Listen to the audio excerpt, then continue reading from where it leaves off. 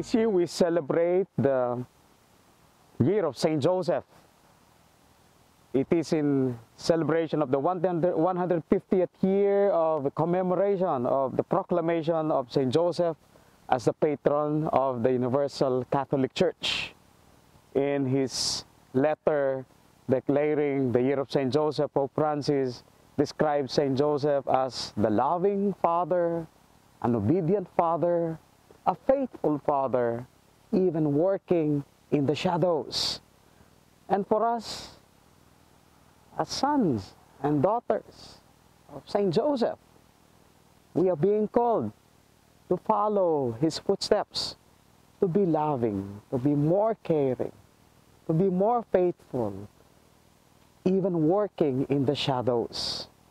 And so may this year become a fruitful journey with our Father Saint Joseph as we welcome our Lord in our lives and to follow the footsteps of Saint Joseph. Ite at Yosef. A blessed Christmas and a grace-filled New Year to all of you.